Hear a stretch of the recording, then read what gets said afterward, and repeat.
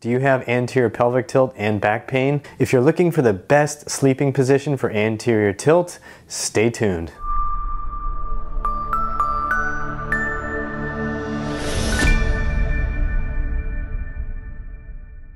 Hey, it's Matt Hsu from Upright Health where we help you move beyond your limitations so you can live with confidence. Be sure to check out the description box for links to our exclusive anterior tilt videos to help you fix your anterior tilt and for other helpful links. And while you're down there, don't forget to subscribe. If you've got anterior pelvic tilt and back pain, you probably look a little bit something like this. I actually got stuck in this position when I was in high school after a wave at the beach just bam, hammered me in the low back and spasmed up all my low back muscles.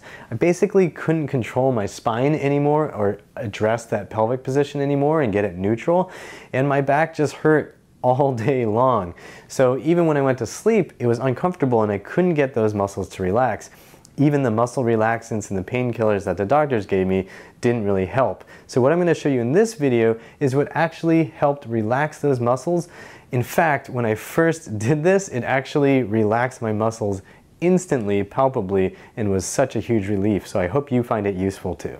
If you have anterior pelvic tilt, you've probably noticed that sleeping in bed doesn't really neutralize your pelvis. The muscles that need to relax don't relax because the bed's actually letting your pelvis go into more anterior pelvic tilt. If you're lying face up, what tends to happen is your butt kind of gets sunk down lower than your chest, which gives you more anterior tilt. And if you're lying face down, what you'll notice is that your belly starts to sink down and then you're again stuck into huge anterior pelvic tilt. So to fix this, you need to think about how to neutralize your pelvis. So to do that, what you can do is take a pillow or a blanket, and if you're lying face up, you just stick it right under your knees. So now when you're lying there, you've elevated the knees just slightly. So now the femurs are helping your pelvis go back. Now, a lot of times with anterior pelvic tilt, you've got really tight quads, which would generally pull you into this super anteriorly tilted position. But since we've now lifted the knees, that gets to relax. The quads no longer have that death grip, and the lower back is actually encouraged to just relax down and you can let those muscles just ease up all along the spine. This alone made such a huge difference to my back pain. I, I actually couldn't believe that nobody showed it to me sooner. Um, I could actually feel the back muscles just sort of like whoop, spasm, spasm, relax, relax, relax. So I hope you experience something that's just as gratifying.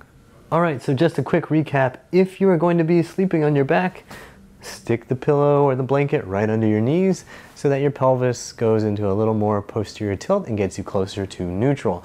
If you're going to be sleeping on your stomach, then you want to move that blanket or pillow right under your belly and a little under your pelvis so that you can get a little more posterior tilt and let your lower back muscles relax so that everything feels neutral and you can drift off into neutral, neutral dreams.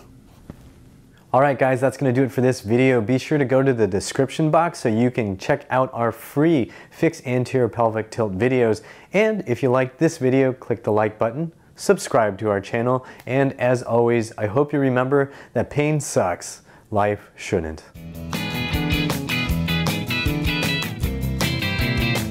Dude, Vincent, I had the most neutral dream last night, you wouldn't even believe it. It was so neutral.